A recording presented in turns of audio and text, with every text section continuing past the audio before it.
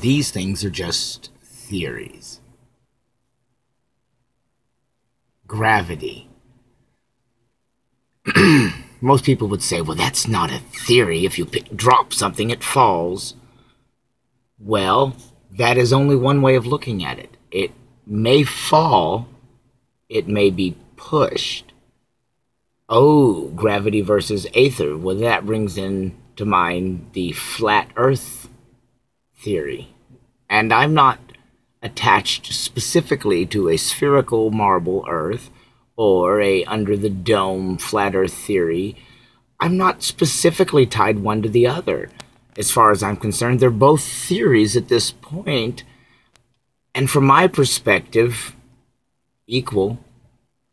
But to specifically claim to believe one thing versus another without proof, oh, the picture changed. Well, isn't that long? To state one way as if known for certain, well, that's just very arrogant. And that is the way most things are taught today.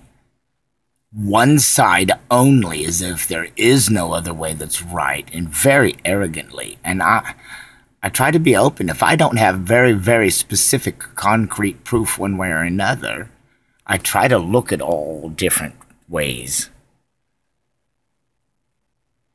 The learning tree that we just saw, you know, that's a very taught, forced way of looking at things.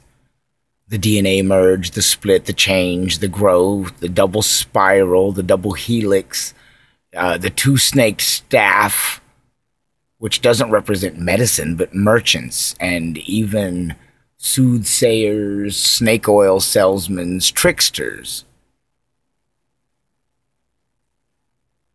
Oh, but it is what it is.